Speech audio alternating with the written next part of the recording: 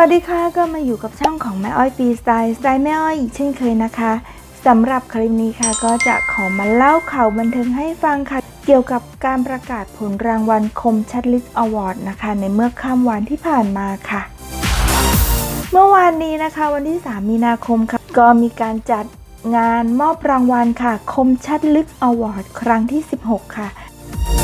ซึ่งจัดโดยหนังสือพิมพ์คมชัดลึกค่ะที่มอบรางวัลประเภท เพลงไทยสากล ภาพยนตร์ละครแล้วก็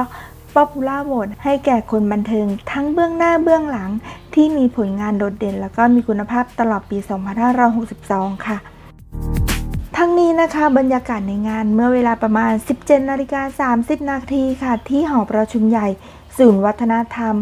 ก็เต็มไปด้วยความคึกคัก แล้วก็มีความงดงามอย่างไทยๆนะคะในคอนเซปต์ไทย modern ค่ะ โดยเหล่าศิลปิน นักแสดงผู้จัดผู้กำกับการแสดงแล้วก็ทั้งคนเบื้องหน้าเบื้องหลังทั่วฟ้าเมืองไทยก็ต่างตบเท้าเดินพรมแดงเข้ามาในงานกันอย่างมากมายนะคะสำหรับการประกาศรางวัลนะคะ ก็เริ่มต้นที่ประเภทเพลงไทยสากลค่ะ มีทั้งหมด 6 สาขาด้วยกันนะคะสำหรับผู้ที่ได้รับรางวัล สาขาศิลปินหน้าใหม่ยอดเยี่ยมนะคะ ก็คือวงจุลโหราน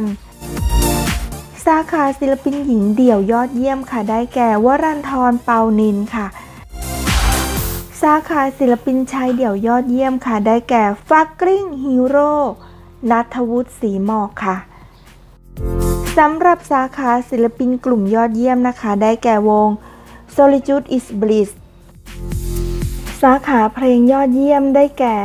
เพลงบนพระจันทร์ศิลปินนะคะก็คือ Fucking Hero ค่ะฟิชเชอริงกับอาจารย์ไข่มาริฮวน่าค่ะ และสาขาอัลบั้มยอดเยี่ยมนะคะ ได้แก่อัลบั้ม Into the New Era โดยศิลปิน Fucking Hero ค่ะ ในส่วนประเภทภาพยนตร์นะคะทั้งหมด 7 สาขานะคะ โดยผู้ที่ได้รับรางวัลสาขาบทภาพยนตร์ไทยยอดเยี่ยมนะคะ ได้แก่คงเดชจาตุรันรัศมีนะคะ ในภาพยนตร์เรื่อง Where We Belong ที่ตรงนั้นมีฉันหรือเปล่า สาขานักแสดงสมทบหญิงยอดเยี่ยมนะคะ ได้แก่อาภาสิริจันรัศมี ภาพยนตร์เรื่อง How to ทิ้งทิ้งอย่างไรไม่ให้เหลือเธอ สาขานักแสดงสมทบชาย ได้แก่ สดานนท์ดูรงควิโรธจากภาพยนตร์เรื่องดิวไปด้วยกันนะ นักแสดงหญิงยอดเยี่ยมได้แก่ ชุติมนจึงเจริญสุขยิ่งจากภาพยนตร์เรื่อง How to ทิ้งทิ้งอย่างไรไม่ให้เหลือเธอค่ะ สาขานักแสดงนำชายยอดเยี่ยมค่ะได้แก่อบนิธิ วิวัฒนวราง จากภาพยนตร์เรื่องแสงกระสือค่ะสาขาผู้กำกับภาพยนตร์ไทยยอดเยี่ยมนะคะ ได้แก่นวพลธรรมรงรัตนฤทธิ์จากภาพยนตร์เรื่อง How to ทิ้งทิ้งอย่างไรไม่ให้เหลือเธอ และสาขาภาพยนตร์ไทยยอดเยี่ยมนะคะ ได้แก่กระเบนลาหู ผลิตโดยบริษัท Diversion จำกัดและ Mid Out Sound Film และนอกจากนี้นะคะก็ยังมีประเภทละครโทรทัศน์อีกทั้งหมด 7 สาขาด้วยกันนะคะสำหรับผู้ที่ได้รับรางวัล บทละครโทรทัศน์ยอดเยี่ยมค่ะได้แก่ยิ่งยศปัญญาค่ะจากละครเรื่องกรงกรรมค่ะทางช่อง 3 HD ค่ะ นักแสดงสมทบชายยอดเยี่ยมค่ะ ได้แก่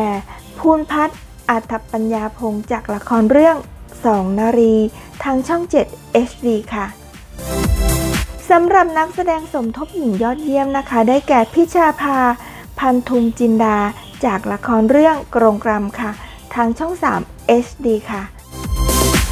และนักแสดงนำชายยอดเยี่ยมนะคะ ได้แก่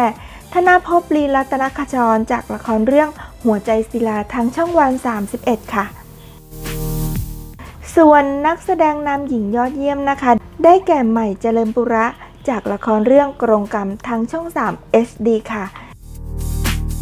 และผู้กำกับการแสดงยอดเยี่ยมได้แก่พงพัฒน์วชิระบรรจง จากละครเรื่องกรงกรรมทางช่อง 3 HD ค่ะ และรางวัลสุดท้ายนะคะก็คือรางวัลโทรทัศน์ยอดเยี่ยมค่ะ ได้แก่กรงกรรมผลิตโดยบริษัท Act Art Generation ทางช่อง 3 HD ค่ะ ส่วนรางวัลประเภท Popular Vote นะคะ ก็มีผู้ที่ได้รับรางวัลดังนี้นะคะ รางวัลนักร้องเพลงไทยสากลยอดนิยมนะคะ ได้แก่ธนนจำเริญค่ะ รางวัลนักแสดงหญิงยอดนิยมได้แก่นพจิราเลิกขจรนามกุลค่ะ และรางวัลนักแสดงชายยอดนิยมนะคะ ก็ได้แก่ ธนพลสุขุมพันธนาสาร รางวัลภาพยนตร์ไทยยอดนิยมได้แก่ Where We Belong ที่ตรงนั้นมีฉันหรือเปล่า รางวัลละครซีรีส์ไทยยอดนิยม ได้แก่ เขามาเชงเม้งข้างๆ หลุมผมครับ และอีกหนึ่งรางวัลพิเศษนะคะที่มอบให้กับคนบันเทิงแต่งกายไทยร่วมสมัยดีเด่นนะคะ ผู้ที่ได้รับรางวัลนนี้นะคะ ก็คือพิงพลอยประภาวดีชัยสมรนะคะ ที่ได้รับรางวัลคนบันเทิงแต่งกายไทยร่วมสมัยดีเด่นนะคะ สวยสง่าสมรางวัลมากๆนะคะยังไงก็ขอแสดงความยินดีกับพิงพลอยด้วยนะคะ ค่ะและนี่ก็เป็นข่าวในแวดวงบันเทิงของเรานะคะ ที่มีการประกาศผลรางวัลคมชัดลึกอวอร์ดนะคะ เมื่อข้ามวันที่ผ่านมาค่ะ ก็ขอแสดงความยินดีกับ นักแสดงนะคะแล้วก็บุคคลที่ได้รับรางวัลนนี้ด้วยนะคะยังไงก็ขอให้สร้างสรรค์ผลงานนะคะที่ดีออกมาสู่สายตาประชาชนต่อไปนะคะ ถ้าชอบก็อย่าลืมกดไลค์กดแชร์และกดติดตามเป็นกำลังใจให้ด้วยนะคะ ขอบคุณสำหรับการรับชมนะคะ แล้วพบกันใหม่ในคลิปหน้าค่ะ สวัสดีค่ะ